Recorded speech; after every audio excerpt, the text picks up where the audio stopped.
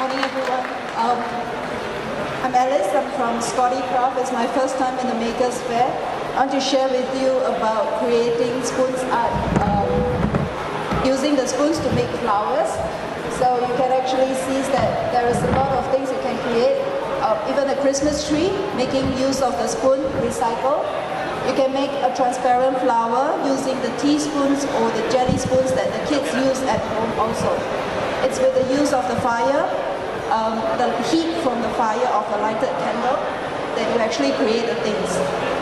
And these are some, sorry, these are some of the uh, creation that is being done by the others uh, creators all around the world. They even make into a dress over here.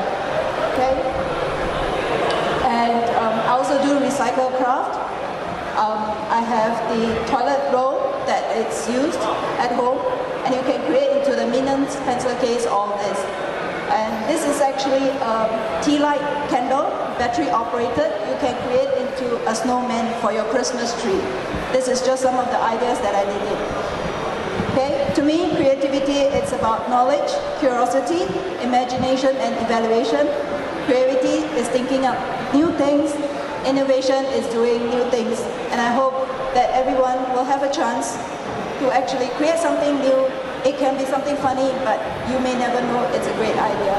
You can come by and visit my booth downstairs and I'll show you how I do the plastic spoons art. Uh, thank you very much.